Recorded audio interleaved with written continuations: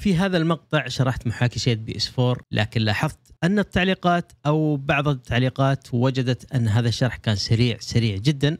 بالراحة وحبة حبة عليا يا علام عشان أفهمك. كذا قررت إني أعيد الشرح بأسلوب أبسط وسرعة أقل. لذا في هذا الفيديو راح أشارككم أبرز النقاط في صفحة التعليمات لتشغيل لعبة Bloodborne أضف إلى ذلك التوضيح الموجود في أعلى الصفحة يوضح كالتالي. وأخيرا أن لعبة Bloodborne أصبحت قابله للعب بالكامل على ال PC. الحين صار عندنا تأثيرات الدم على الملابس والأسلحة ودعم مفتوح للفريمات لتجربة سلسة أكثر. المحاكي فعلا وصل لمستوى عالي جدا فهذه هي الخلاصة.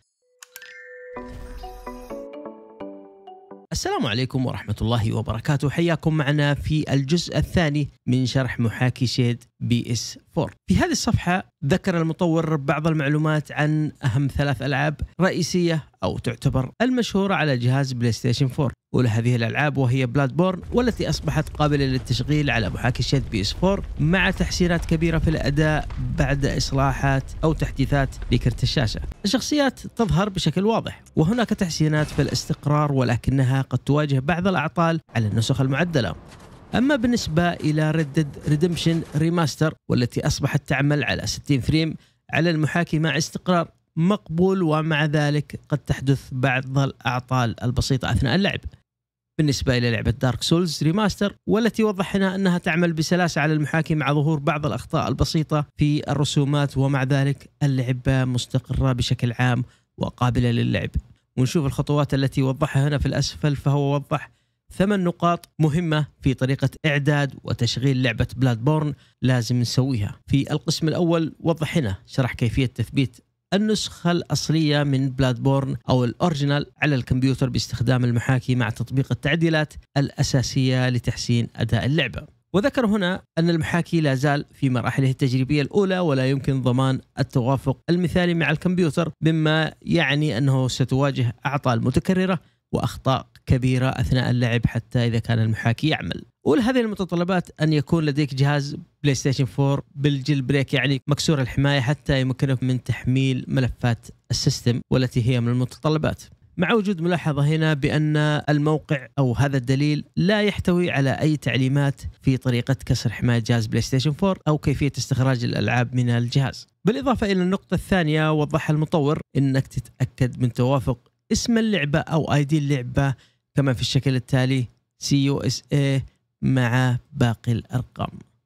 بعد ذلك قام المطور بوضع متطلبات ال RAM وال VRAM. ووضح أن ال RAM يعني RAM الكمبيوتر. في تسريبات كبيرة للذاكرة في المحاكي فالأعطال قد تكون متكررة مما قد تواجه شاشة الموت أو الشاشة الزرقاء. وعشان تقل هذه المشاكل فالأفضل إنك ترفع حجم ال RAM بحيث إنه يكون الحد الأدنى 16 جيجا RAM بالإضافة إلى تقليل البرامج الموجودة في الخلفية، يعني تسوي لها إغلاق أو تعطل البرامج الخلفية، أما ال recommended أو الموصى به 32 جيجا.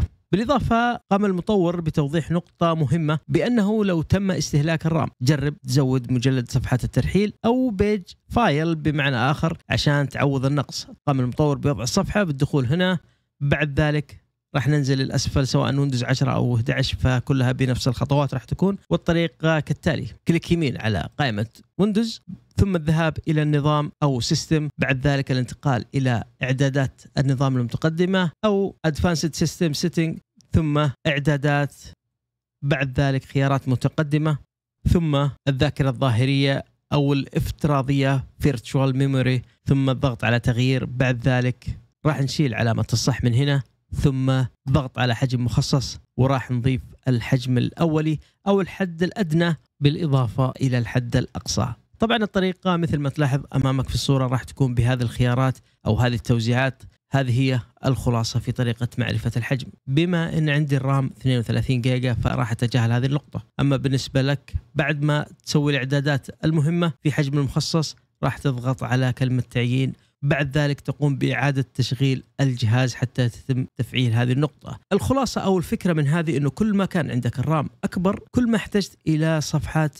أو page files أكبر عشان يساعدك الجهاز في التعامل مع البرامج الثقيلة أو الألعاب، هذه هي الفكرة من هذه النقطة. أما النقطة الثانية اللي تكلم فيها المطور وهي ذاكرة ال VRAM، طبعا مثل ما ذكر هنا بأنه في بعض المناطق في اللعبة إنها تتعطل خاصة لمن يملك كرت شاشة 8 جيجا راح تحدث هذه المشاكل، لكن الموصى به أن تكون ال VRAM 12 جيجا كأقل تقدير، يعني يكون حجم كرت الشاشة 12 جيجا فأعلى من ال VRAM. وذكر هنا ملاحظة أخرى. في حال صار lag في اللعبة فمن الأفضل أن تقوم بالنظر إلى الأرض حتى يتم تقليل التحميل على ال VRAM. يعني من الأفضل أن الكاميرا أو تخلي الشخصية يكون توجيه الكاميرا إلى الأرض لا إلى الأعلى حتى يخف التحميل أو الحمل على ال VRAM. أما بالنسبة إلى كروت ال AMD وضع نقطة هنا بأنها تواجه مشاكل أكثر. لذا من الأفضل إنك تدخل إلى هذا الرابط ثم تحمل آخر التعريفات أو آخر المتطلبات الخاصة.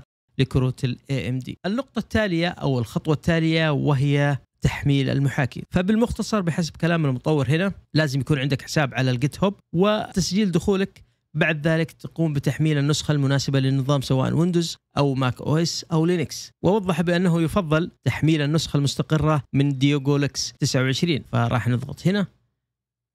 بعد ذلك راح نبحث حسب ما هو مطلوب هنا بانه من المفترض أنك تحمل نسخة BB branch build وهي النسخة المدمجة. فراح نتجه إلى الجيت هوب وراح نبحث عن النسخ المدمجة أو التي تم دمجها. طبعا هنا في نسختين نحمل هذه النسخ. الفرق بين هذه النسختين أو بين هذين التحديثين أن هذه النسخة فرع مخصص لإصدار كامل من المحاكي فهو يشمل على كافة التعديلات والتحسينات المطلوبة لتشغيل الألعاب بشكل كامل مع جميع الميزات المضافة. أما هذه النسخة فهي في الغالب تكون مركزة على تحديثات أو تحسينات معينة لنسخ من الألعاب على shadPS4 فهذه كل الخلاصة. فراح ندخل إلى هذا المسار أو هذه الصفحة. بعد ذلك ننزل للأسفل وراح نحمل نسخة الويندوز Qt. بعد ذلك حفظ باسم تحديد سطح المكتب أو أي مسار لديك ثم save. بعد اكتمال عملية التحميل نزل الصفحة ثم كليك يمين استخراج ثم نقوم بفتح المجلد. في حالة عدم تشغيل المحاكي أو أن المحاكي ما أشتغل معك فمن الأفضل أنك تقوم بتثبيت توزيعة الفيجوال سي دبل بلس. راح تدخل على هذا الرابط ثم تنزل للأسفل راح تحمل توزيعة ال 64 bit حسب ما هو مطلوب للمحاكي. نزل الصفحة ونرجع نشغل المحاكي. double click على المحاكي راح يظهر تمكن تضغط على مزيد ثم تشغيل على أي حال. هذه الواجهة الأولية للمحاكي راح نضغط على استعراض أو browse ثم راح نسوي مجلد جديد click يمين جديد ثم نسمي هذا المجلد games بعد ذلك راح نضغط على المجلد أو تحديد هذا المجلد ثم select أو تحديد هذا المجلد ثم OK الآن أصبح المحاكي جاهز فلازم نجيب ملفات النظام. راح نسوي إغلاق المحاكي. وهذه هي الملفات النظام. طريقة التركيب كالتالي راح ندخل إلى مجلد اليوزر بعد ذلك الدخول إلى ملف النظام. وراح نسحب هذه الملفات وإسقاط إلى داخل مجلد النظام. لكن راح نعطيك ما هي الملفات بحسب ما هو موجود في هذه الصفحة أو صفحة التعليمات. هنا معطيك هذه الملفات ثم قام بتوضيح بأن هذا الملف من الأفضل إزالته حاليا. فراح نضيف الملفات المطلوبة بحسب ما هو موجود في هذه الصفحة.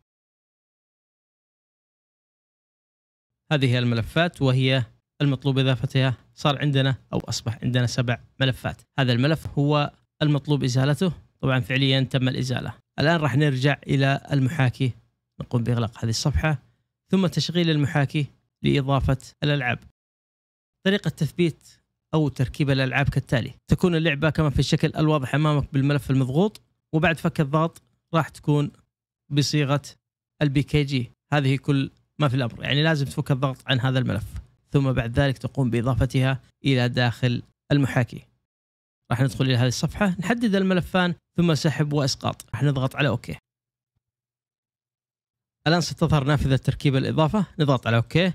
تظهر نافذة أخرى بأنه تم اكتشاف patch فراح نضغط على نعم. تم استخراج اللعبة بنجاح. okay. ظهرت اللعبة كما هو واضح أمامك. الآن راح نسوي تجربة على المحاكي قبل أن نقوم بأي تعديل لكن راح نرجع إلى صفحة التعليمات.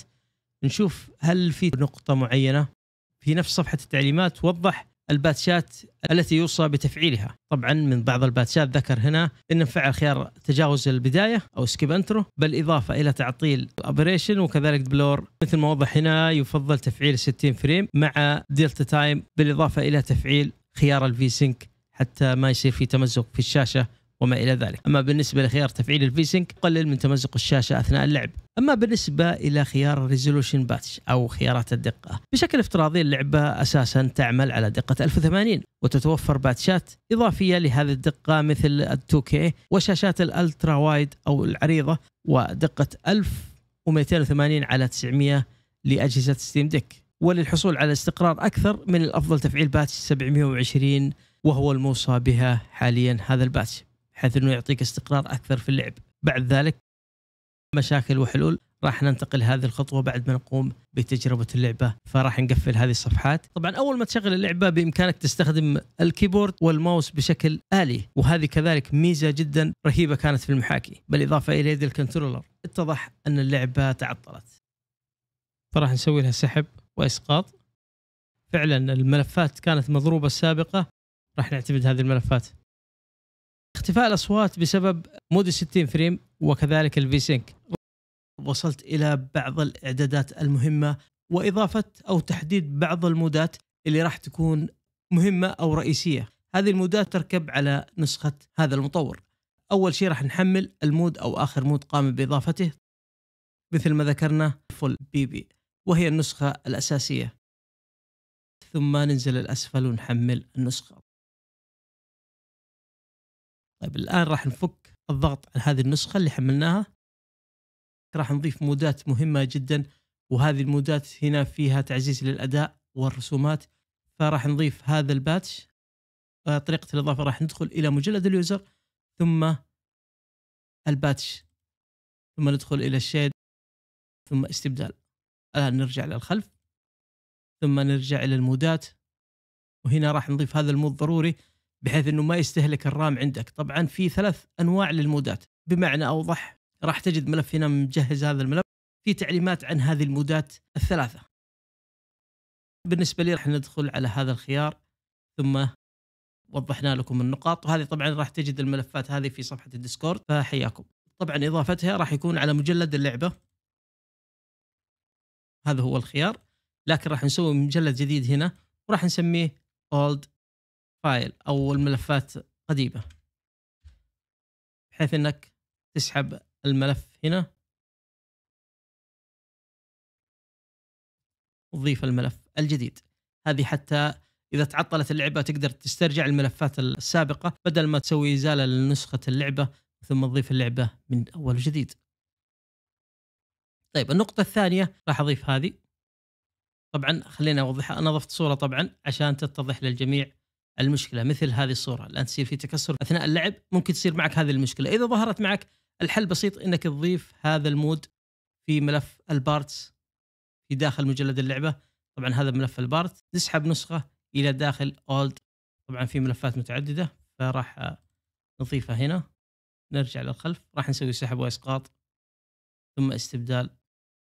الآن نرجع للخلف. إغلاق. طبعا في عندنا نسخة ثانية تعزيز الأداء.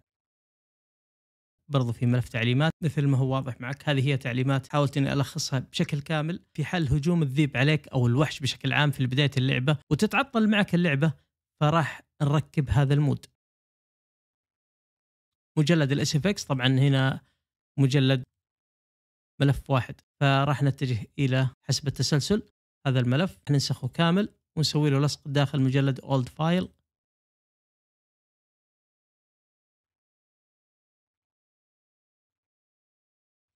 راح نسوي سحب لهذا المجلد ثم استبدال. الآن نرجع للخلف. ثم ملفات ال SFX طبعا عندنا تقريبا 37 ملف وهنا عندنا كذلك 37 ملف فراح ننسخ المجلد كامل. ثم نقوم بلصقه داخل مجلد old file ثم paste بعد ذلك نقوم بنسخ هذا المجلد أو سحب واسقاط بشكل مباشر ثم استبدال. بهذا يكون حلت مشكلة هجوم الوحش في بداية اللعبة وتتعطل معك اللعبه نشغل كليك يمين باتش. نغير الدقة من هنا.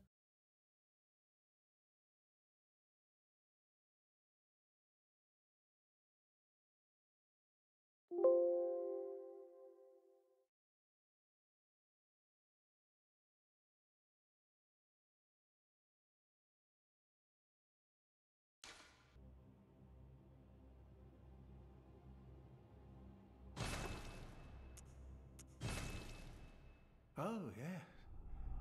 Pale blood. well, you've come to the right place. Yeah.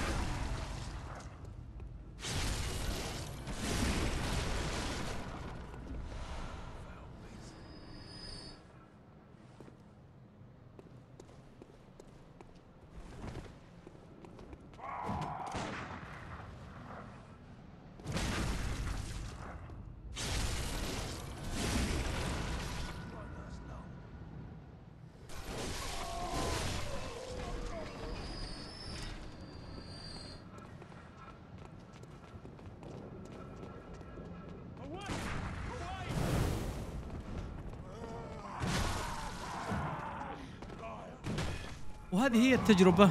أتمنى أن الشرح كان واضح لكم. تمنياتي لكم بالتوفيق. في أمان الله.